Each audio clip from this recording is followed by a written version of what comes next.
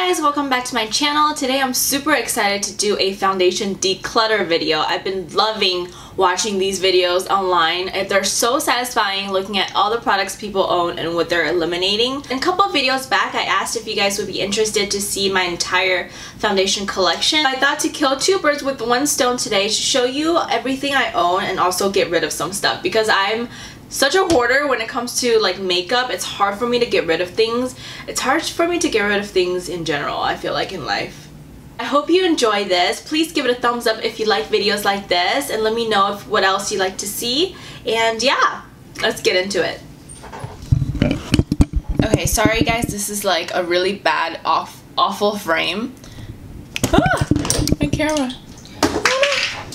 okay, so I took everything out and here, oh my god. So here are the foundations that I currently own. I'm just gonna go through them one by one. First thing I see, this is the Sephora Perfection Mist Airbrush Foundation. I just recently did a review on this and I surprisingly like this a lot, actually. I think it's really fast, good coverage, and it's fairly yellow. This is in the shade Fair. I'm just gonna swatch a little bit of it. As you can see, the shade is fairly yellow. This is a really nice foundation. It dries down to a powdery finish. So I'm going to keep this.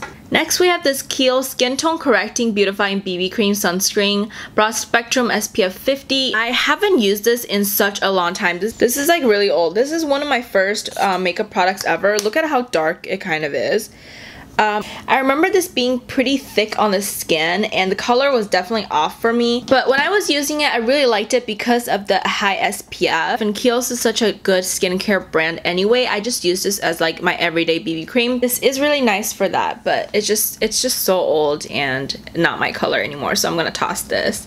Speaking of wrong shades, I have the EX1 in goddamn. I have the EX1 Invisiwear Liquid Foundation. This is in the shade F200. They have since redone the shades and this is so dark for me. Look at this. I can almost use this as a liquid bronzer. No joke. This is a really, really nice foundation though. It's like so flawless on the skin and it's very olive toned.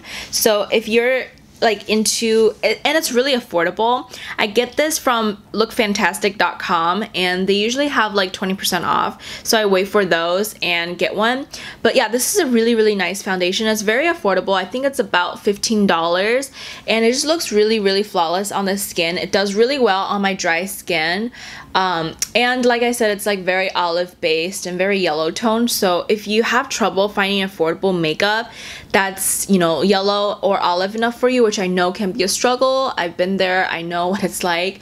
This is a great one. This is just way too dark for me. So I am going to donate this. Our two out of two so far. Good job. Next up, I have this e.l.f. Acne Fighting Foundation. It has salicylic acid, witch hazel, camphor, tea tree, and aloe in it.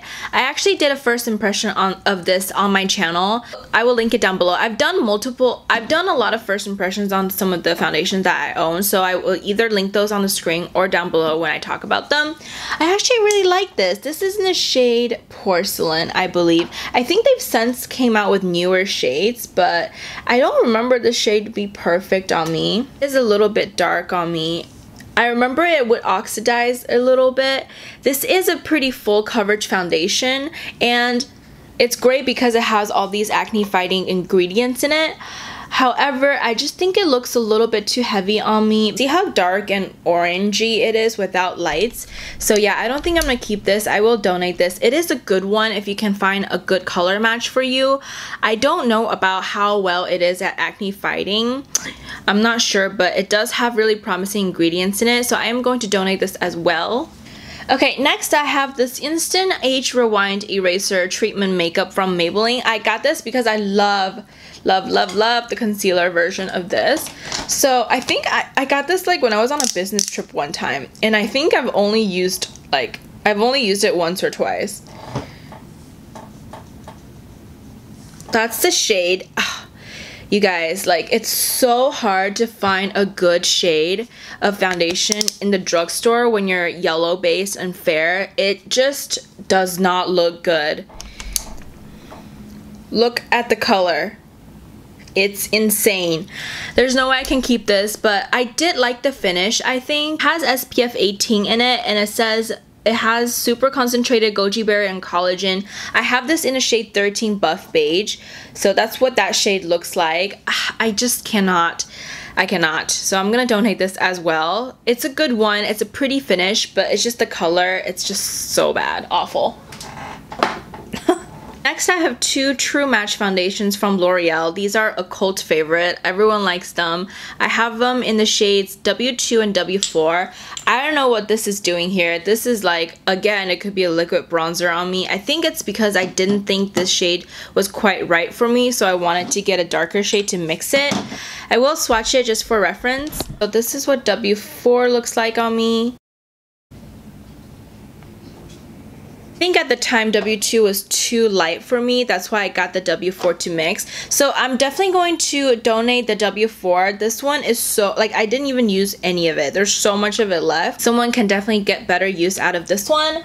But the True Match foundation in general, I don't love the formula. I have to have to have to mix like an oil or something moisturizing when I wear this. I find it to be really dry and I don't know, it just doesn't really look flattering. I am going to keep this though because I want to keep like at least one drugstore foundation. So I'm going to keep this to the side and then maybe get rid of it later. It's a very thin formula, but it doesn't look flattering on my skin whatsoever Oh my god, so gross. Speaking of L'Oreal True Match, I also picked up the L'Oreal True Match Lumi Foundation. This is for healthy luminous makeup. This is broad spectrum of 20.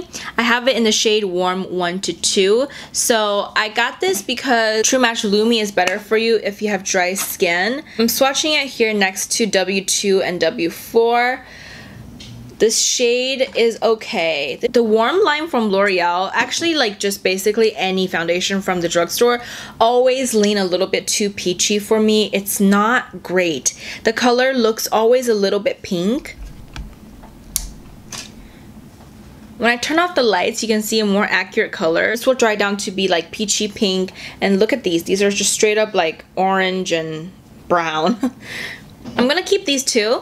Next up, we have another foundation from the drugstore. This is the Maybelline Fit Me Dewy and Smooth. This foundation also has SPF 15 in it and is for normal to dry skin. I have it in the shade Porcelain 110 this is what the shade looks like. I do like this foundation. My only complaint is the color match. This also dries down to be a little bit peachy. You can definitely see it on my skin when I wear this, but I do like the finish and it is one of the drugstore ones that I do like, so I'm gonna keep that as well.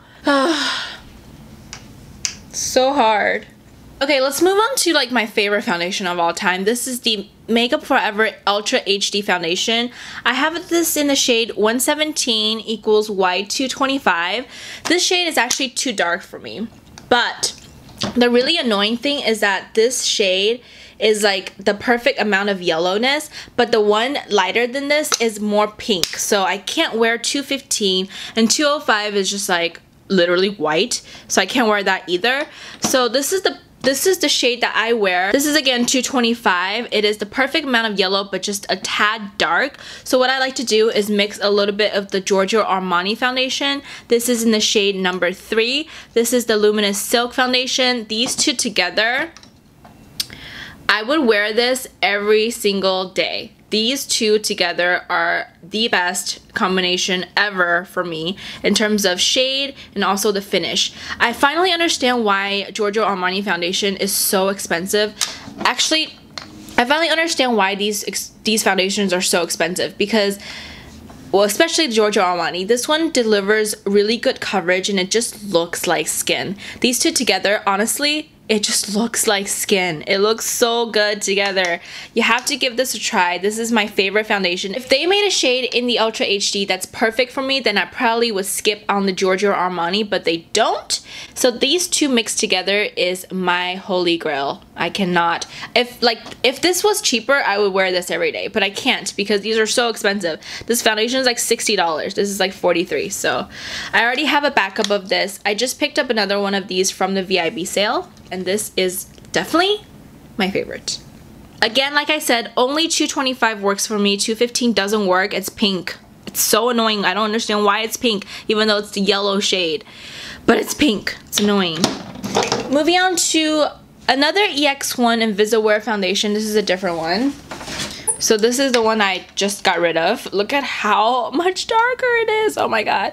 So I got rid of that one, the dark one, but this is the one that is in 2.0. This is a new formula or at least a new numbering of colors and I finally got a color that would match for me because I really, oops, because I really enjoyed the because I really enjoy the foundation, you know. Look how yellow it is. It's perfect. It's like really, really great. I do prefer, for some reason, the darker formula. I don't know if it's the same or it's different. I might be just making it up in my mind, but I feel like the older one looks more flawless. Even still, this is a really great foundation, and that's the shade right there. It's a really good one. Like I said, it's really affordable, and it's like less pink than any other affordable foundation, but you have to get it online, which is annoying. But this is a really good one, so I'm definitely keeping that. Step I have the Stila foundation. This is the Perfect and Correct foundation.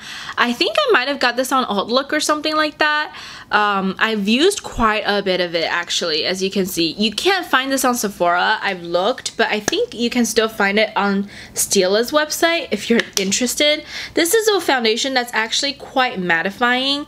It actually is not a bad shade. That's why I really like it. I used to mix this with um, the Ultra HD and then when I had the when I used to have the Too Faced Born This Way I don't have that foundation anymore. I did a demo on that and I had it in the shade Ivory I believe but I found that shade actually to be too yellow for me. That's why I don't have it anymore. I used to mix that with this one and I really like the finish this gives. It's like um, it's kind of a more like less luminous look than I than my other foundation so it gives it more like a matte look it just gives a very flawless look to your foundation. That's why I like this. I'm going to keep that. Okay, moving on. This is my Cover FX Custom Cover Drops. This is in the shade G20. I love this product. This is so good and I think I've actually used all of it. I've never used up a product before, but this one I've used up. This is a very, very, very, very, very full coverage foundation. I used to love mixing this with the Ultra HD. I still do when I want like a really good, nice coverage, these the Duo. These two together looks really, really nice together. Um, very full coverage, like very, very, very flawless um, but still looks quite natural, doesn't look too fake. So I really like this. I'm probably gonna pick up another one um, in November when the VIP sale comes back. So that's what that shade looks like. I love that one. G20 is the shade I have. I have this Bobbi Brown BB Cream SPF 35. This is in the shade Extra Light. I remember the shade to be too light for me, but now might not be. This shade is definitely more pink, and I remember this didn't really work out for me because it's very mattifying. It's definitely more for oilier skin. It made me look dry, so I am going to get rid of this. This is the Hera cushion I just did a review on. I really like this. It lasts a long time and the color of this is actually quite good for me in terms of a cushion foundation. So I'm definitely keeping this. The only thing I wish is that this was higher SPF, but this is the one that's um, higher coverage because this is the C13 shade. Um, I believe they, they have like another line. This is the Ultra Moisture one. So it's like supposed to be, you know, extra moisturizing. They do have another like normal one and I believe it's lighter coverage. Um, but I really do like this one so definitely keeping that. This is the Maybelline cushion I picked up from China. So this is a product from Asia. I did a video on this as well and this one I think I'm gonna get rid of. It's just old and also this was never really great shade. It's quite dark and it dries down to be very pink so I'm gonna get rid of this. Next we have the Innisfree cushion. I reviewed this a long time ago. I got this when I was in um, Asia and this is pretty much dried out so I'm gonna have to throw this away and I don't really like this product. This is the Water Glow Cushion. I have it in the shade 21. Uh, the color match was okay but I remember this was kind of drying on my face. I didn't really like how it felt so I'm gonna be tossing this. This is just old. I have this NARS Pure Radiant Tinted Moisturizer, uh, Broad Spectrum SPF 30. This is in the shade Finland. I used to wear this all the time. Oh my gosh. So it's like my go-to uh, base product because of it had SPF 30. Uh, but I remember it just being a little bit too slick and slidey on my face. I used to wear this all the time. I mean, it's a good one. I've just found better products since, so I moved on from it. So I am gonna get rid of this one. But if you're looking for dewy skin, also have SPF. This is a good one. The shade is okay. Honestly, it's not perfect.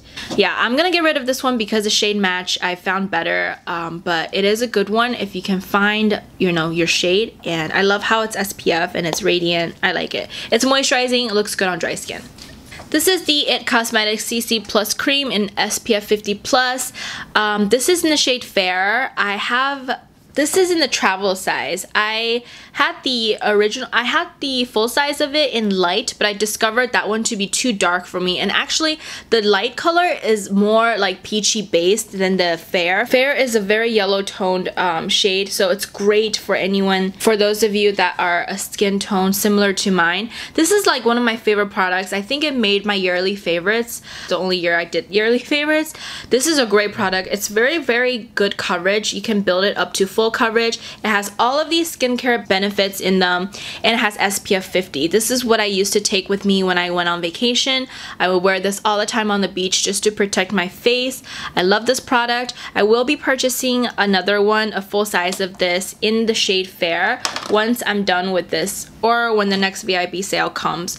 Whatever comes whatever comes first. But yeah, IT Cosmetics is carried at Sephora now, which is super exciting. So I'm waiting for that 20% off in November and picking up a shade shade in Fair for sure. I love this thing. This is the Hourglass Vanish Stick Foundation and I have it in the shade Porcelain. This foundation, I don't even know what to say about this. It is a stick foundation. I did get this for free from my friend Michelle, which I'm super, super thankful for because this is such an expensive foundation. I'm so glad I got to try it, but it just did not work out for me. The color is good. I love the coverage. It's super easy, but I think this breaks me out. I have no idea why uh, I, I just, every time I wear this, I consistently break out. So I think I'm gonna get rid of this, even though I really like it because it's so good coverage and it's a stick foundation. It's super easy.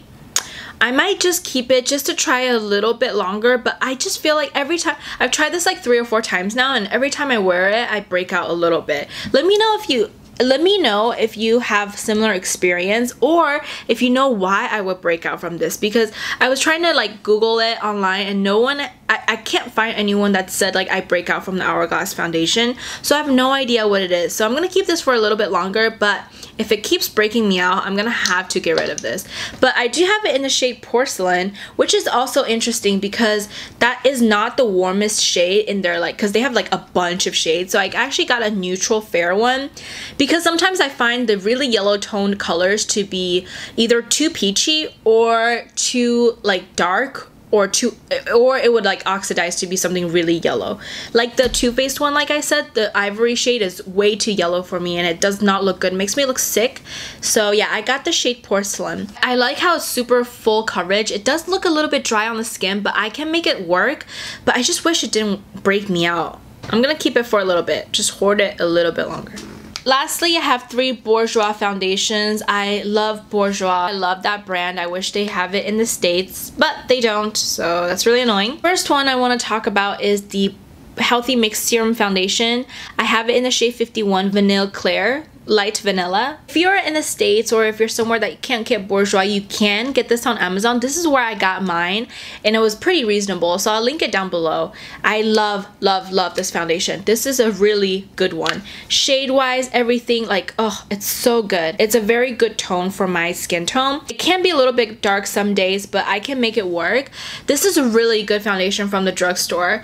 Um, the only thing the only like it looks really nice. It looks super flawless. It looks very luminous. It's very good. The only thing that makes the oops the only thing that makes the high-end foundations like these two better than this is that these look undetectable on the skin. Like so freaking natural. Like you can't tell. Like it's so good. But this you can definitely tell when you have it on. It's like flawless looking. So you can definitely tell when you have this on but it's a really good one from the drugstore. I love that shade it's so nice. I definitely cannot say the same for these two foundations, also from Bourjois. I don't understand why, because the Healthy Mix Serum 51 is such a good shade, but these two are so not good shades, okay? I picked these up when I was in Europe, I think either in Paris or London or respectively. This is the Bourjois City City Radiance Brightening Effect SPF 30 foundation. It says anti-pollution screen radiance boosting pigments. And then this one is pretty much the opposite of it. This is the Bourjois Air Matte uh, Air Matte Undetectable Matte Finish. Both of these are in 01 Rose Ivory. You're like, okay, why did you get rose ivory if you don't want it to be pink? Well, it's because the next color would be way, way, way too dark for me. This is the Air Matte and this is the City Radiance. The matte one dries down to be really, really matte and it's a really pretty finish. I do like it. Even these two shades are like, I feel like this one is a total shade darker than this one and they're like the, and they are named the same shades. Like how weird is that? Without the lights, you can see this is way too peachy and this is like a little bit pink on me. But I think I'm still gonna keep these two because I am a hoarder and I got them from Europe, so they are a little bit special to me. So I'm just gonna hold on to them for a little bit longer. I will use them because they're SPF 30 and this one, oh, the Air Matte actually has no SPF in it. Maybe I should just get rid of it. Ah, I don't want to because I bought it in Paris. Okay, I'm gonna, I'm gonna keep this, but I'm gonna, I, I'm gonna keep this just to keep it but this one I will definitely use because it does has SPF 30 so that's very useful to me. And the shade isn't that bad. Ugh, it's just it's just pink. It's just pink. Okay guys that's it. We did pretty well. These are the ones I'm gonna keep. Woo. these are the ones I got rid of